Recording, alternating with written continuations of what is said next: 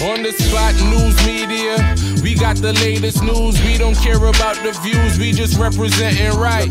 Put local news internationally every night. On the spot, wave that Jamaican flag from left to right. Let's get it right. Y'all know the type.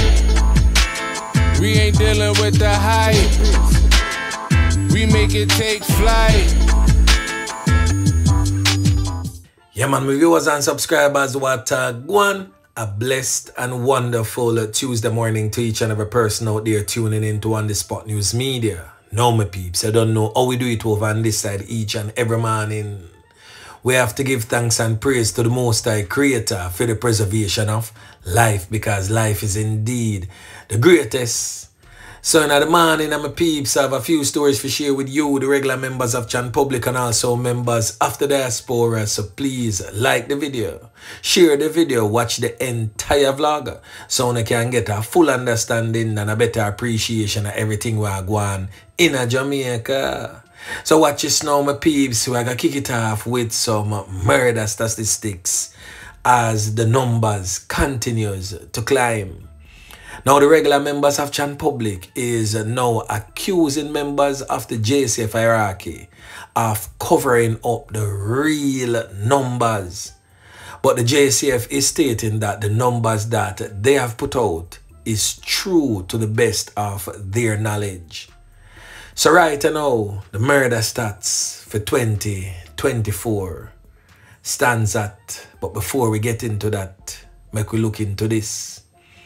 Jamaica's knockings and clappings rate as it relates to the knockings and clappings committed by criminal elements has decreased by 17% as of August 15th of this year compared to the similar period of last year. But preliminary statistics show that three of the 19 police divisions have recorded increases in fatal knockings and clappings by more than 30% over the same period. The 17% decrease in fatalities as of August 15 represents 149 fewer people losing their lives in 2024 when compared to the corresponding period of 2023. Now that's 878 fatalities in 2023 this time compared to 729 fatalities compared to this time this year, 2024. The St. James Police Division has seen the largest percentage decrease, falling by more than 35%. So that's 44 fewer people losing them three points compared to the similar period of 2023. Similarly, the Hanover and St. Ann police divisions both show a decrease in their fatalities in excess of 30%. With the exception of five, all other police divisions recorded declines in fatalities between 7 and 29%. However, of the five divisions, where increases were reported, the St. Andrews Central Police Division saw the highest percentage increase of 58%, moving from 31 fatalities from the similar period in 2023 to 49 in 2024. And that's 18 more people end up lose them three points for the reviewed period. This is followed by the St. Elizabeth Police Division, the St. Andrew North Police Division, the Trelawny Police Division, and the Manchester Police Division, which show an increase in fatalities ranging from 33 to 15%. Yeah, man. Now, make we look into some knockings and clappings go on over the period of last night. From 6 p.m. to 6 a.m this morning. Now over there in the Clarendon Parish, a section of Clarendon known as Lionel Town in the Salt River Main Road, the body of an unidentified male was found laying on the roadway, lifeless, no longer among the land of the living. The Lionel Town police is presently investigating. Another fatality took place. A man identified as Marvin Marsh, 28 years old, said to be from a 2nd Avenue address in Gregory Park, St. Catherine. He was found lifeless in an unfinished building. The police in that area, the Caymanas police, is presently investigating. Now over there in the Kingston Western Police Division, a fatal knockings and clappings go on and also the serious injury of two females, one a 32 year old female and a 29 year old female. Both victims get caught up right at Tuare Crescent, right there so, Rosetown and Spanish Town Road. Yeah man. Now that is an ongoing gang war that I will most definitely be talking about a little bit from this. And still in the Kingston Western Police Division, the body of an unidentified male was seen lifeless on the roadway, well carned up all over the upper body and head. It is said that his life was taken by unknown assailants who made good their escape on foot along Lincoln Avenue in the Kingston Western Police Division. The Admiral Town Police is presently investigating. And also over there in the Kingston Central Police Division, right at West Street and Tower Street. This man presently on your screen identified as Kirk Francis 54 years old, said to be of 11 Whitney Drive in Kingston 20, was conned up by criminal elements along the roadway in the full presence and view of his daughter. How traumatizing can that be? The city center police is presently investigating. The next knockings and clappings took place over there in Gayle, St. Mary, a place known as Decoy District, where an unidentified male was conned up and seriously injured. He's presently in the hospital. The Gayle police is investigating. And the last knockings and clappings go on in the St. Andrew North Police Division where we have seen an uptick of crime and violence in the Stony Hill, Iron River and surrounding communities over the past couple of weeks. A whole heap of knockings and clappings are going up in them parts there. Now, an unidentified male was conned up and seriously injured by unknown assailants in the Iron River community. The Stony Hill police is presently investigating. Now, wanna see how much different knockings and clappings go on at night time whilst some of us are in our beds sleeping Wanna see how much people out there in weeping and mourning to the loss or serious injuries of their loved ones. And with that said, I'm going to post some pictures presently for you on your screen. I want to look upon the ground and see the type of weapons, weapons of mass destruction that these criminal elements presently have in their arsenal. These criminal elements are very much armed with high-powered weapons that can definitely take a life or cause serious damages us, the regular members of Chan Public. I can't seem to understand why we seem to hide these criminal elements and treat them as if they're modern day heroes.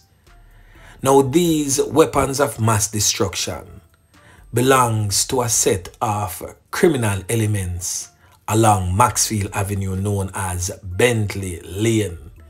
Them call themselves Laneside Badness. yeah man. Now the Kingston Western Police have listed nine criminal elements that is from Bentley Lane are in and around that circle who is presently wanted by them. In relation to the ongoing gang violence we see a going between Bentley Lane and Rosetown and all roads leading off going down Maxfield Avenue along to Spanish Town Road. Now these criminal elements have been listed before, but I am going to list them again. And on your screen, you can clearly see these criminal elements taking photographs, posing with their heavy artillery, sending a message to their criminal rivals and also to intimidate the likes of you, the regular members of Jan Public. So these criminal elements are as follows. Samuel Grant, but more popularly known in the criminal underworld as Hobby. Navardo Lyons, otherwise known as Gwan Bad. He's presently on your screen. This criminal element here is one of the top tier Nakis and Clappis that is totally responsible for everything wanna see a on. In fact, the picture presently on your screen was posted by his relative. The next criminal element, identified as Rohan Tomlinson, also known as Popsy. The next criminal element identified as Shavasio Magishi, otherwise known as Will. The next criminal element identified as David Simmons, but is more popularly known in the streets as Troy. The police are also searching for Karen Campbell, otherwise known as Wicked, Clive Wallace, otherwise known as AJ Vickers, and a man known as Bugari. SSP Phipps, the man in charge of the Denham Town Police Station and overall in charge of the Kingston Western Police Division, is urging members of the public to assist the police in finding these criminal elements. Yeah, man. Now, still under Cherry Tree Lane, over there in Four Paths, Clarendon, mass fatal knockings and clappings. I have made mention of this criminal element presently on your screen in several vlogs are covered about that mass murder. He has since been identified as Rassmacconen Copeland, but more popularly known in the streets as Tuffy. Now, this criminal element uh, is different from the criminal element that I spoke about yesterday, known as Tuffy Lee. This criminal element uh, is also presently behind bars and is one of the warring factions with his one-time friend known as Black Azan. Now we have for you an updated photograph of this criminal element. He's no longer a ballad. He's now a dread. Yeah man. So this is the updated photograph of Rassmacconen Copeland, aka Tuffy, one of the reputed criminal elements, the man who get the contracts for Slapway, the eight people round a cherry tree lane in Four Paths, Clarendon. So he was the one that was contacted via cell phone in the prison by the criminal element identified as Beanie. Beanie lost his sister, Joanna, and in retaliation contacted this criminal element to carry out reprisal knockings and clappings on the criminal elements affiliated with Black Azan. So basically, my peeps, I said this already, I'm going to say this again. The entire parish of Clarendon is being held hostage by three criminal elements who is presently behind bars, namely White Knight, namely Tuffy, and last but most definitely not the least, Black Azan.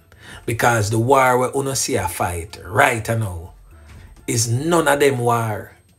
The man them will live a foreign in a feed them war and contract them for carry out dirt on each other's side and that is how they became enemies because they were all friends whilst incarcerated in prison. So this whole thing we wanna see I go on in my peeps. I said this already, I'm gonna say it again. It is way, way bigger than what meets the eyes. And a lot of politicians now go come out and say certain things. A lot of DJs, you know, popular DJs, now go come out and say certain things. A lot of influential persons in society where uno look up to now go come out and say certain things because certain names are involved in what is happening. And if they utter a word out of their mouth, the whole of them business probably gone a road because they are all connected to that controversial figure. He does a lot of under the table business for them and he also fund their politics and their political movement with his dirty money. So certain things will never ever be said. Certain persons will never come forward and say a word of English. Yeah, man. It is really sad. But to how deep this crime syndicate run and how many people are connected to it, trust me, you dare not trust not even your own because your own just may be on the pay bill of these criminal elements. Yeah, man. So anyway, my peeps, remember to like, share, subscribe to the channel. Stay tuned to On The Spot News Media as I continue to bring you fresh news and updates in subsequent newscast. On The Spot News Media. Yeah, man.